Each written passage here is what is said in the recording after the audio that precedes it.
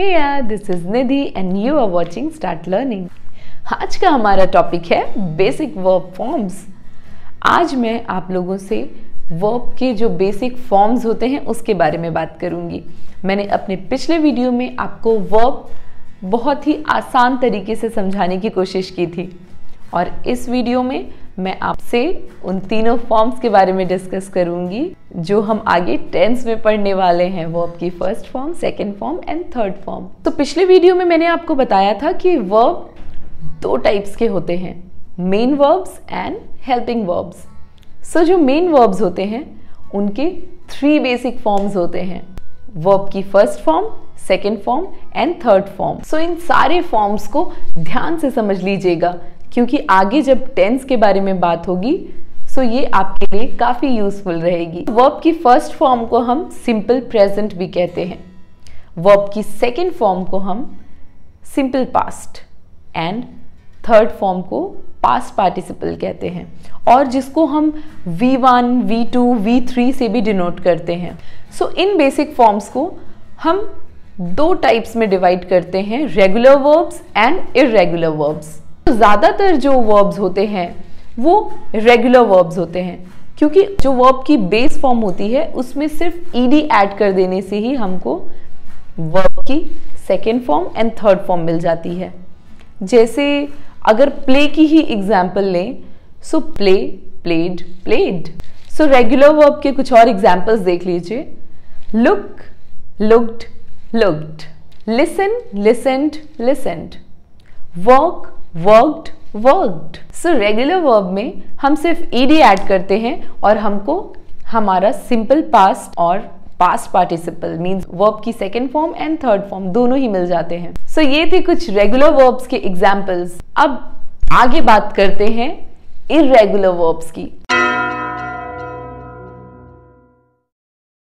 जैसे go went gone do did done fly flew, flown, draw, drew, drawn, drive, drove, driven, eat, ate, eaten, fall, fell, fallen, give, gave, given, freeze, froze, frozen, forgive, forgave, forgiven, hide, hid, hidden, know, knew, known, ride, rode, ridden, mistake, mistook, mistaken, ring, rang, rung, see, saw, seen, take, took, taken, sing, sang, sung, speak, spoke, spoken, write, wrote, written.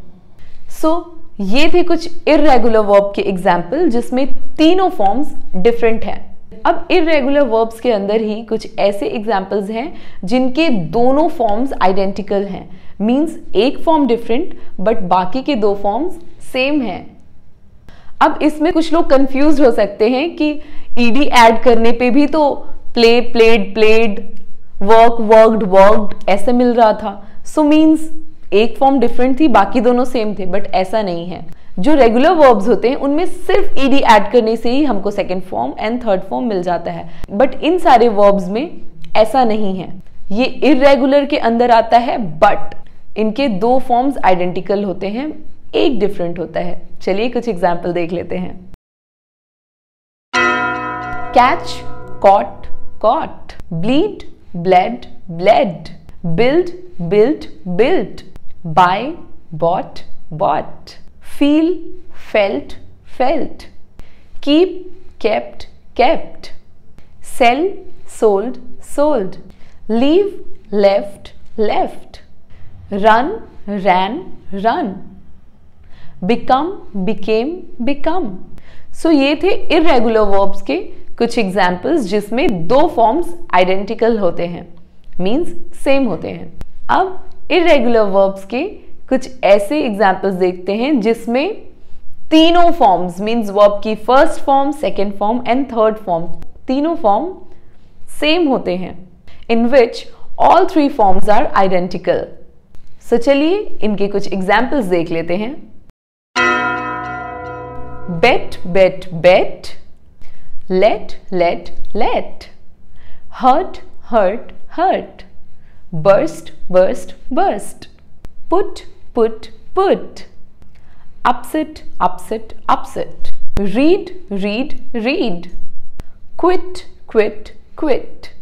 So देखा आपने इन examples में तीनों forms same थे सो irregular verbs में हमने देखा कि एक फॉर्म में कुछ वर्ड्स ऐसे थे जिसमें तीनों फॉर्म्स अलग अलग थे कुछ वर्ड्स ऐसे थे जिसमें एक फॉर्म तो डिफरेंट था बट बाकी दो सेम थे।